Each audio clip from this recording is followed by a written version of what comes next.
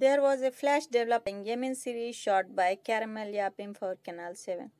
Özge Yağız and Gökberk Demirci appeared in lead for its first two seasons. Yemin, which is broadcasting its fourth season starring Gökberk Demirci, Setan Swear, Janvirel, Yamur, Shazbozova, Ahmed Omer played the main role. Yemin was supposed to extend for its fifth season, but was decided to make the finale in the 554th episode.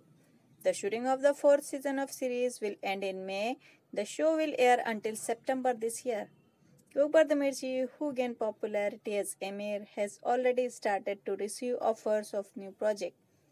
Now it's time for Gökberk to participate in new projects and improve his experience. He can be appear either in television or on digital platform. So friends, what is your thought on this comment here? Thanks for watching.